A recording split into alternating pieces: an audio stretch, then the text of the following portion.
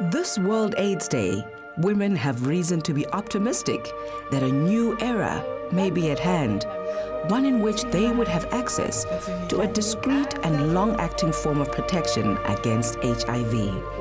We saw an important step forward for women's health early this year when results were reported from two major studies, the RING study and ASPIRE, which evaluated whether a vaginal ring that slowly releases an ARV drug called dapivirine could prevent HIV. The ring, which was developed by the non-profit International Partnership for Microbicides, would be replaced each month by women themselves. Both the ring study as well as the Aspire study showed that the ring is safe. And both have proven efficacy. And that's what we need for a licensure program. In both the RING study and ASPIRE, the risk of HIV infection was about one third lower among women who used the dapivirine ring. In ASPIRE, women who used the ring most consistently saw their HIV risk cut by more than half.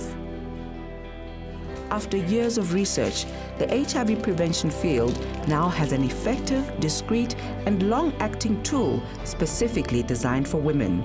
A moment worth celebrating? Most certainly. We finally got a, a product that will help us, uh, uh, will help protect women against HIV. And we are so very happy that, yeah, our journey has been worthwhile. We've achieved. We've achieved what we were striving for. In July, the Microbicide Trials Network, which conducted ASPIRE, released further analyses that suggested the ring could reduce HIV risk by 75% or more with near perfect use. Although protection in the trials overall was quite modest, when women used the ring consistently, they were well protected. And so although there's not going to be a silver bullet to end this epidemic, this ring could give women an urgently needed new option for HIV protection. Oh, this is the most amazing news to know that our ring works, that it, that it prevents HIV. And this is something women can do for themselves. After results were announced, our first duty was to launch open label extension studies to allow former participants in the ring study and Aspire to use the active ring. Open label studies of HIV prevention products often see higher levels of efficacy because women now know that these products are safe and offer protection, so that they're more likely to use it consistently. And these products must be used consistently in order for them to work well. As the regulatory sponsor, our goal is to license the product in developing countries where the epidemic has taken its greatest toll.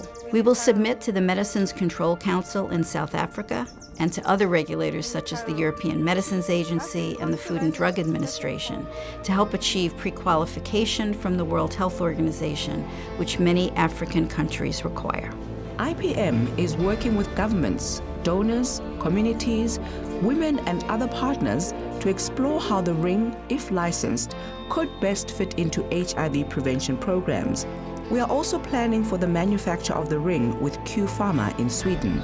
The story of the dapivirine ring began more than a decade ago, and our deepest thanks go to all those who have walked alongside IPM the women in the studies and communities, donors, fellow researchers, our civil society partners, and many others. Together, we must build on the global collaborations that got us to this point as we advance the ring and work to expand women's HIV prevention options.